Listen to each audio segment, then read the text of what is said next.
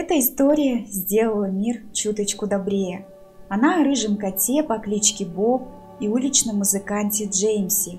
Эта история началась с того, что рыжий бездомный кот с раненой лапой скитался по улицам Лондона. В Британии нет бродячих котов. Никто не знает, как рыжий кот оказался на улице и лазал по мусорным урнам. Лондонский музыкант Джеймс еле сводил концы с концами.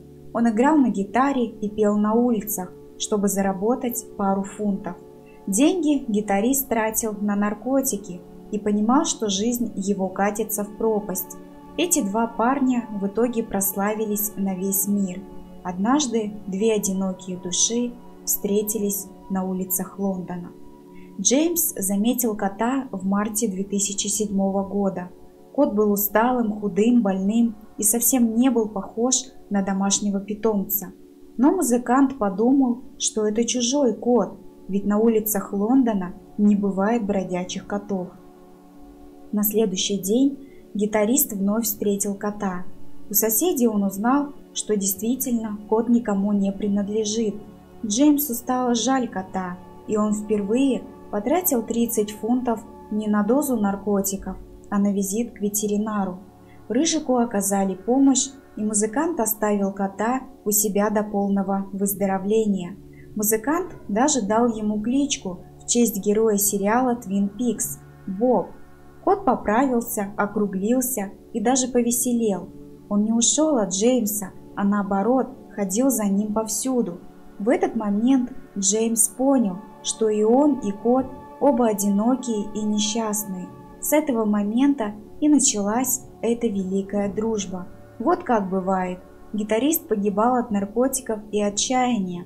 Он не видел в жизни никакого смысла. Но как только в жизни музыканта появился этот кот, он принес ему удачу и стал настоящим ангелом-хранителем. Дуэт Джеймса и кота Боба появился на площади возле театра. Музыкант по-прежнему пел свои авторские песни, а кот с ошейником и в забавном шарфике привлекал лондонских прохожих. Они вместе ходили за покупками, продавали газеты в парке и выступали на улицах. Туристы приезжали специально на площадь, чтобы послушать песни музыканта и познакомиться с Бобом. Друзья быстро стали знаменитыми. О них даже снимали ролики и выкладывали в интернет, писали статьи в газетах. Ролики набирали миллионы просмотров – Слава о дуэте разнеслась по всему миру.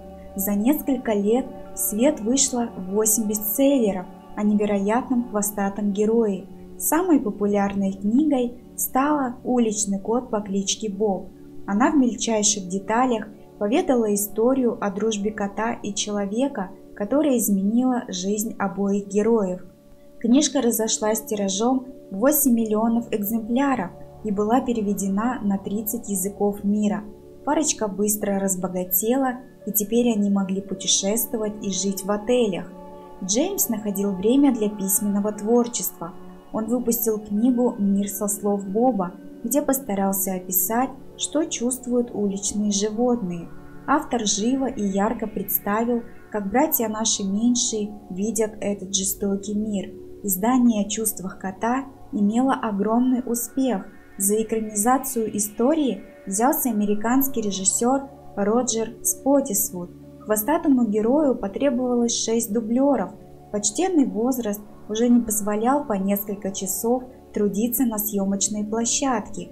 Когда вместо Боба в кадре появлялись другие коты, он ревностно следил за игрой пушистых собратьев.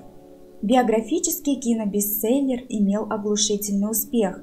Рыжий уличный кот вдруг стал голливудской звездой. У хвостатого гражданина появился паспорт, по которому он объездил весь мир.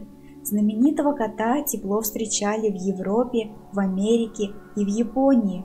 Поклонницы дарили любимому герою вязаные шарфики, которые стали его визитной карточкой.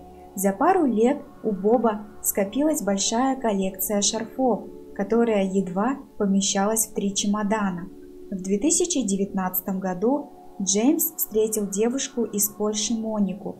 Теперь они жили вчетвером. Джеймс, Боб, Моника и ее кошечка Пом-Пом.